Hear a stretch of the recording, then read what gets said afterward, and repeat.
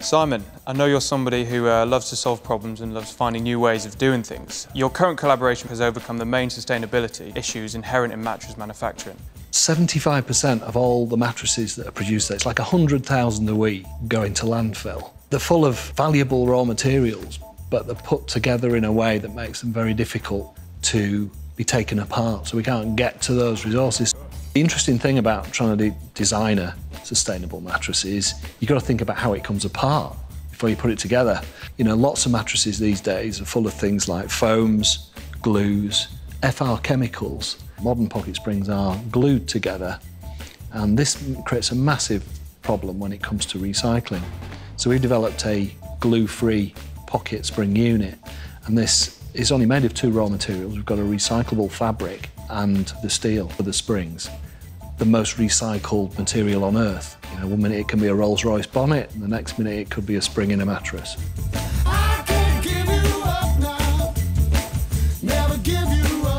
We're carbon neutral plus accredited as a business. We've won two Queen's Awards for sustainability, so the business is really serious about uh, sustainability. We make our own machinery. Uh, we have our own looms weaving the fabric. Uh, we draw the wire. We actually grow some of the fibres that we, we use in some other mattresses. We found a way of using hemp uh, in a mattress, for instance, that where we can grow it on our own farm. And so we, it massively takes carbon out of the atmosphere. Everything we have in the product is pretty much British because we make most of the raw materials.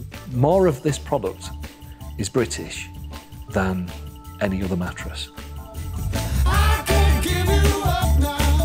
It's not just the actual product that's greener, it's even the packaging, the fact that it's packable in a compressed state. It takes the space out of the van, so you're using in effect half as much diesel to deliver it. So its environmental cost uh, is, is half because it, it takes half the space.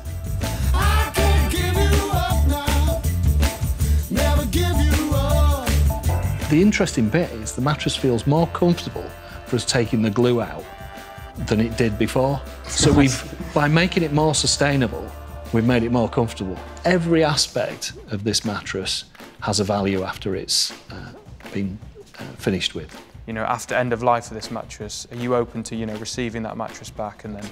If someone can get it to us, we'll disassemble it and recycle every last bit of that mattress.